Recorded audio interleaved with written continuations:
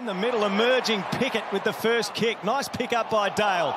He's caught and dispossessed. Oliver. Farm forward by Tomlinson. Chandler approaches 50 to the pocket. Pickett's. He volleys it forward. A chance for Pickett. Pulls his kick.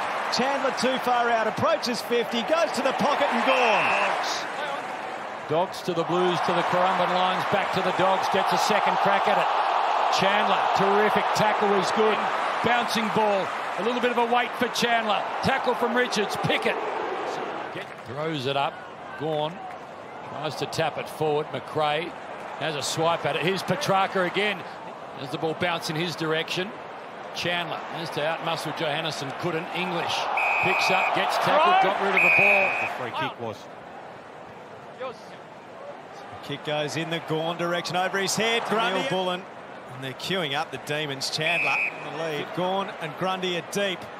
That spells trouble for the Dogs. Gawn with a couple yeah, on. lob, handball, comes unstuck.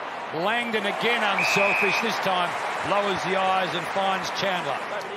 The 23-year-old, 11th game. Is this his first goal? Couldn't quite bring it in. Now Bruce, got to beat Chandler. Chandler's tackle is good. Spargo's a chance. He wants to share it. Chandler on his left for his first goal in the AFL. The Demons fans are out of their seats. Oh, advantage! And Bailey Laurie now. He finds Chandler. They're queuing up now, the D's, to make it very hard for the Bulldogs. Chandler has missed. A bit of a disaster in the end, and McDonald puts it into Chandler's hands. Switch on here for the Demons. Neal-Bullen and now Chandler breaking to the halfback flank on the members' side. And he is well serviced. Chandler perhaps has had the best night he's ever had in these colours.